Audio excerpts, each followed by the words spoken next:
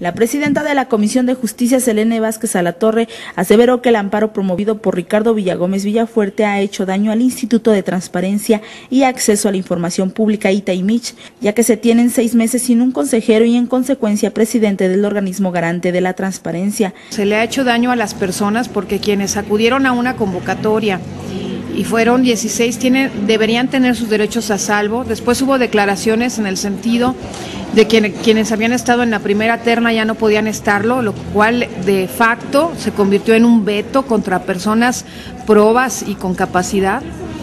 Eh, el PRI a capricho le ha hecho daño a una institución que no les interesa y digámoslo así, ¿a quién le puede interesar la transparencia en este momento? ¿Al gobierno o les conviene que no la haya? Sostuvo que el tema se ha vuelto en un espacio de rencillas políticas entre diferentes grupos. El Itaimich eh, tiene que estar eh, de alguna manera sancionando, insistiendo en los temas de, información, de transparencia de los recursos y demás. Y pues eh, en gran medida la mayoría de los recursos son con respecto al Ejecutivo. Entonces, pues no ha habido interés sobre el tema. Después se convirtió en un asunto de rencillas políticas y la consecuencia es la que hoy vemos. Negó que en algún momento el expresidente del ITAIMIX haya solicitado en tiempo participar para ser aspirante a consejero y desmintió que el Poder Legislativo le haya pedido participe como candidato a consejero, ya que de acuerdo con la ley no procede en este organismo la reelección inmediata.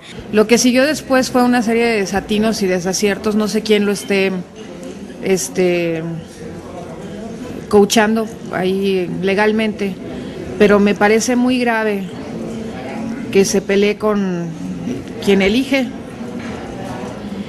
Y me parece además muy grave que sabiendo las consecuencias, porque él ya fue presidente, de que el, de que tenga ya cuatro meses sin presidente, todavía siga promoviendo amparos para que sigan en la indefinición administrativa y sigan teniendo problemas graves, ¿no? A mí eso me parece pues grave. La diputada Selene Vázquez Torre negó que en algún momento ellos hayan interferido en la decisión del expresidente del Itaimich, Ricardo Villagómez, en participar en la convocatoria en la cual se elegiría al integrante de este consejo. Para Noticiero Nuestra Visión, América Juárez Navarro.